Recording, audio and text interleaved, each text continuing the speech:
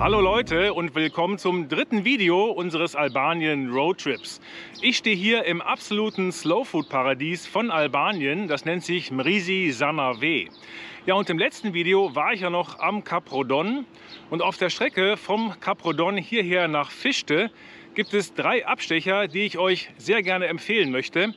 Und wir legen gerade los. Äh, der erste Abstecher ist der zum Aussichtsberg Latsch. Und dort oben befindet sich ein wunderschönes Kloster. Die Zufahrt zum Klosterberg erfolgt durch den Ort Latsch. Ja, und im Ort beginnt dann schon das Sträßchen rauf auf den Klosterberg. Da gibt es ein paar enge Haarnadelkurven, aber mit unserer 7-Meter-Kiste war das kein Problem.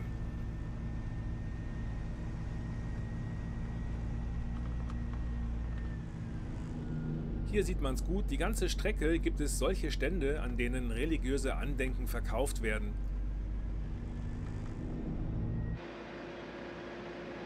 Von hier oben hat man eine super Sicht auf die Rodonbucht. Und ja, es gibt wieder Kühe auf der Straße, aber wenn man sich ihnen nähert, dann machen die dann schon Platz. Ja, und da oben ist dann auch schon der Parkplatz. Das hier ist das Kloster. Nicht sehr groß, aber sehr schön. Das ist ein richtiger Wallfahrtsort hier mit einem riesigen Kreuz auf dem Berg. Ja, und zu diesem Kreuz, da fliegen wir jetzt mal mit der Drohne hin.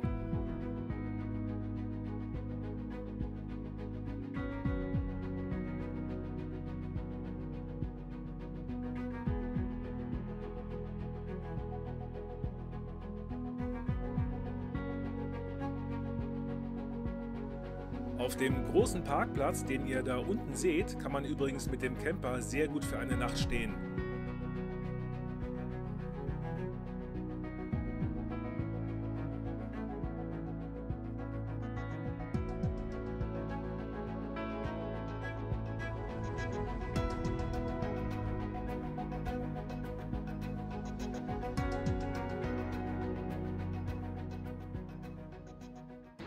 Der zweite Abstecher geht zur Lagune Patok. Dort gibt es nicht nur wunderschöne Natur, sondern vor allem ganz tolle Fischrestaurants. Die Zufahrt zur Lagune erfolgt über einen langen asphaltierten Damm. Und das Ganze hier ist ein Naturschutzgebiet, also es liegt schon mal deutlich weniger Müll herum als sonst. Typisch für diese Lagune sind die Pfahlbauten und natürlich gibt es auch wieder Bunker.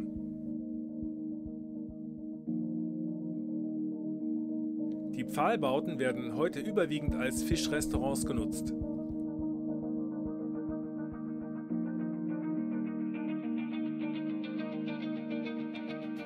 Auf geht's zu einem Rundflug.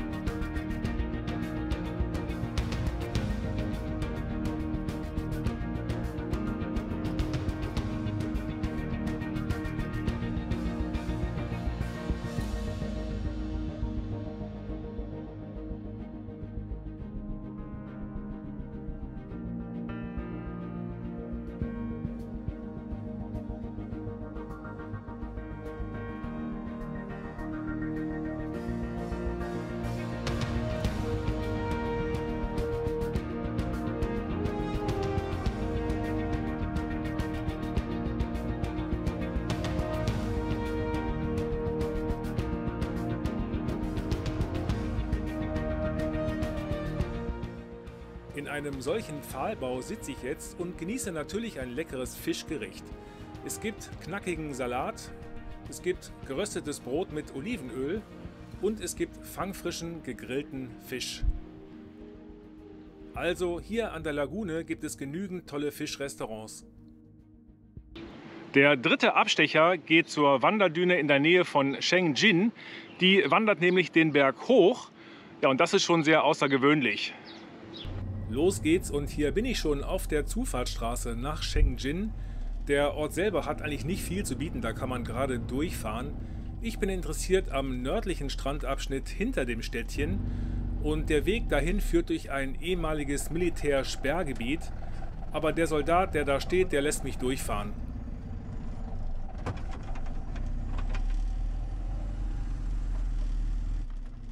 Nach wenigen Minuten ist das ehemalige Militärsperrgebiet durchfahren und ich befinde mich auf einer kleinen Küstenstraße.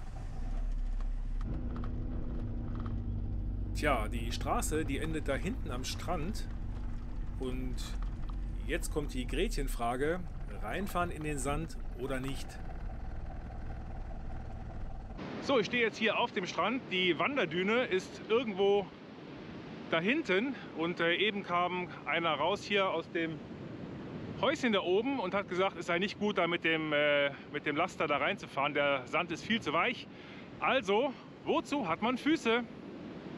Ja, die Fahrspur, die verliert sich hier langsam im Sand und der Sand ist hier schon extrem weich. Also da hätte ich mindestens den Reifendruck im Benz massiv reduzieren müssen, wenn ich diese Strecke tatsächlich gefahren wäre. Da habe ich jetzt aber keine Lust drauf. Also laufe ich zu Fuß. Hier stehe ich nun bei der imposanten Wanderdüne. Die ist gut 50 Meter hoch und 600 Meter lang und wird vom Wind immer weiter nach oben in den Berg getragen.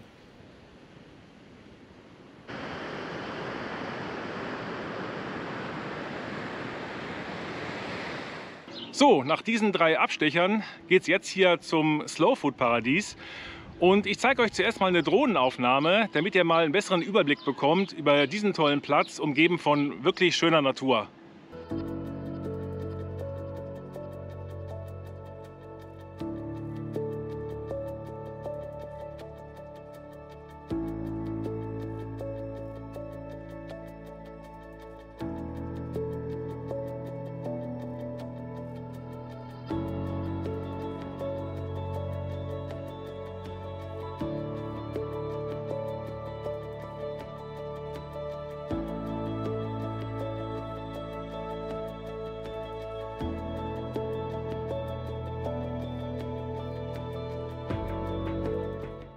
Bei diesem Agrotourismo werde ich jetzt sicher drei bis vier Tage bleiben und ich nehme euch jetzt mal einen ganzen Tag lang mit und zeige euch mal, was man hier so alles entdecken kann.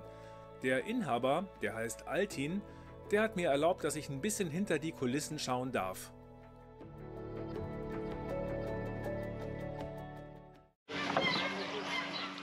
Bei den Ziegen fange ich mal an wenn die gerade keine Jungen haben, dann wird die Milch verwendet für den Käse, den ihr später noch sehen werdet. Ja, und wenn sie Junge haben, dann gibt es eben am Abend auch ab und zu mal Babyziege auf dem Teller. Aber nicht nur hier von dem Betrieb, sondern die werden zugeliefert von Betrieben aus der gesamten Region.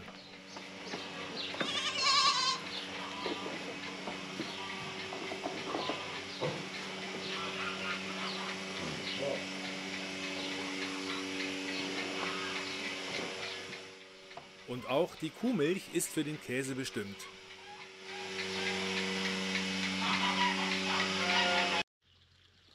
Tagsüber haben die Ziegen freien Auslauf auf der Wiese, also die haben es echt gut hier. Ebenfalls draußen rumlaufen dürfen auch diese Gänse.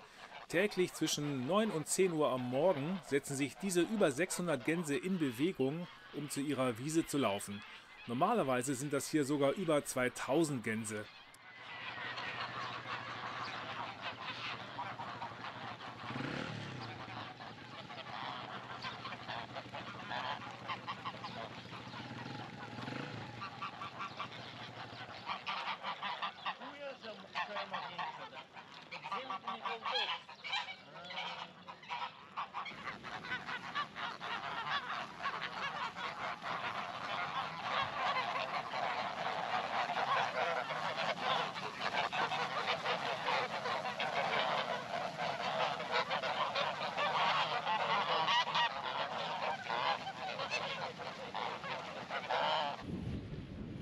Wie überall in Albanien kann man auch auf diesem Grundstück wieder verschiedene Bunker sehen. Und in einem der größeren Bunker ist der Verkaufsladen untergebracht. Ja, und da kann man all die leckeren Sachen kaufen, die hier im Betrieb hergestellt werden oder eben von Familien aus der Region zugeliefert werden.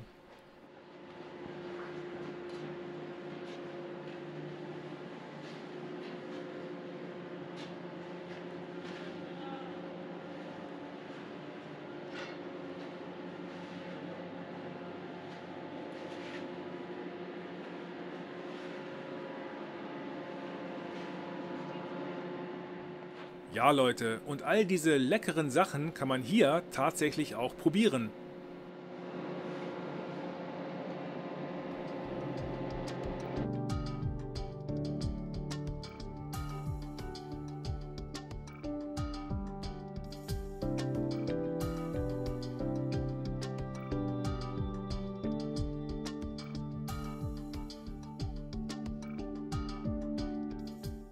So, jetzt fliegen wir mal kurz rüber zum Produktionsbetrieb. Der ist 400 Meter entfernt.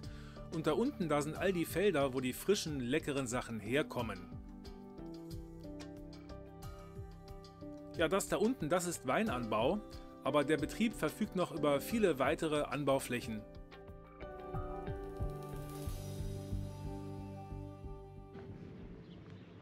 Jetzt bin ich beim Produktionsbetrieb und das ist ein sehr interessantes Gebäude, denn früher, in der alten Zeit, war das mal ein Gefängnis. Und jetzt schaue ich bei jeder Tür mal rein, um zu gucken, welche kulinarischen Geheimnisse man dort entdecken kann. Genau, hier wird der Käse gemacht.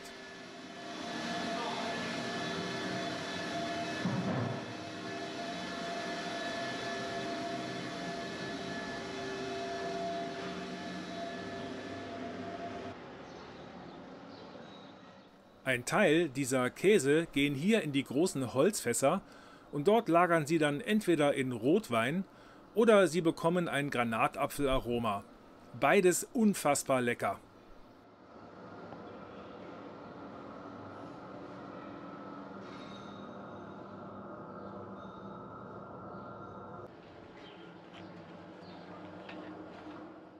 Tja, wer ein Käseliebhaber ist, der wird aus diesem Käselager gar nicht mehr raus wollen.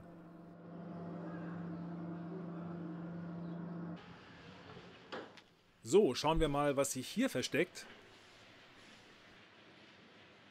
Ja, das ist der Bereich, in dem das Gemüse verarbeitet wird und eben auch das Obst. Das heißt, im Sommer ist hier die absolute Hölle los. Ja, und das Obst wird insbesondere zu Marmelade verarbeitet.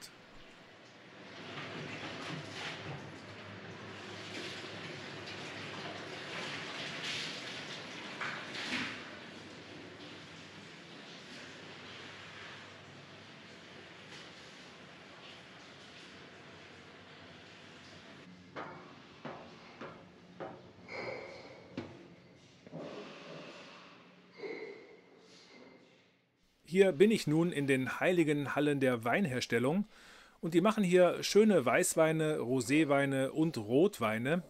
Ja, und ein Teil der Produktion wird auch hier in diesen schönen Holzfässern ausgebaut.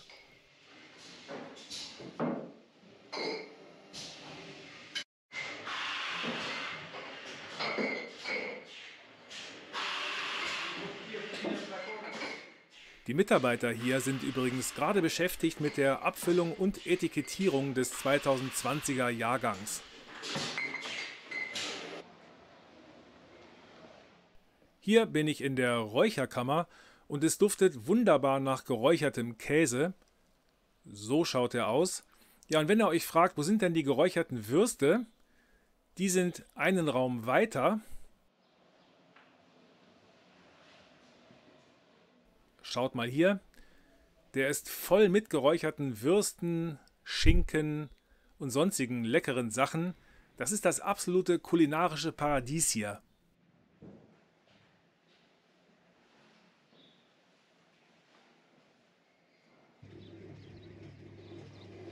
Und wie es sich für ein richtiges Agrotourismo gehört, backen die hier auch ihr eigenes Brot und haben dafür ihre eigene Mühle, mit der das Getreide zu Mehl verarbeitet wird.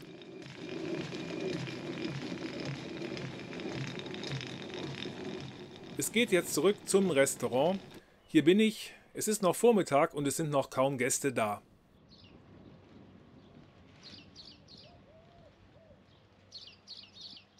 Was wirklich auffällt ist, dass die Umgebung hier sehr liebevoll und schön gemacht ist.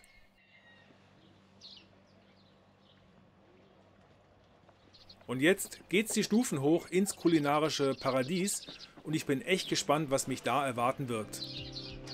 Bevor es nun ins Restaurant geht, möchte ich euch aber noch eine Flugaufnahme zeigen, wie es nämlich hier ab dem frühen Mittag ausschaut. Das füllt sich immer mehr und am Abend ist es hier richtig voll. Wer übrigens länger in diesem schönen Agrotourismo bleiben möchte, der kann das in diesem schicken Gästehaus tun. Das liegt direkt oberhalb vom Restaurant.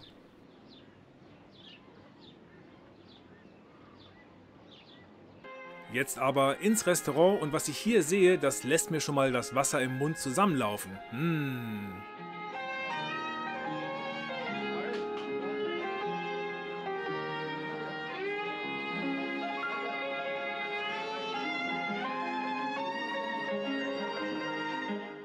Mich zieht's nun aber zuerst mal in die Küche.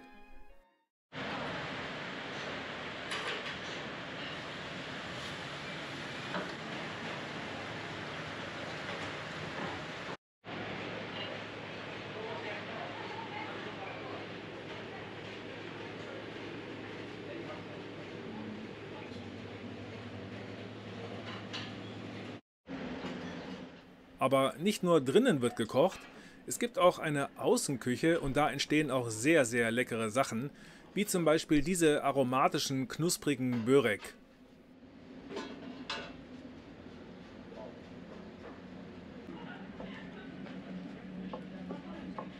Und hier werden gerade die bekannten Fleischspieße zubereitet und die gibt es dann gegrillt.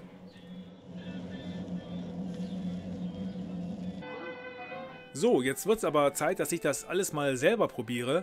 Los geht's mit einem Starter mit einem schönen Frischkäse im Zentrum. Weiter geht's mit einer Börek-Auswahl und verschiedenen Mix-Pickles und ihr habt ja gesehen, wo die hergestellt werden. Jetzt gibt es eine Auswahl an Gemüsen, dazu eine Platte mit geräucherten Käse, geräuchertem Schinken und zwei sehr aromatischen Weichkäsen. Tja, und das hier ist das schwierige Thema, das ist die Babyziege. Aber ich muss sagen, schmecken tut sie ausgezeichnet. Zum Schluss gibt es noch Cheesecake und Granatapfel. Und ich bin ja nun wirklich kein Foodblogger, aber dieses Menü war einfach nur klasse. Drei Tage war ich jetzt in diesem tollen Agriturismo und ich muss sagen, ich bin echt begeistert, nicht nur über die Freundlichkeit der Menschen hier, sondern auch über die schöne Natur drumherum und selbstverständlich auch von dem tollen Essen. Jetzt geht's weiter in den Norden von Albanien zum Skodra See.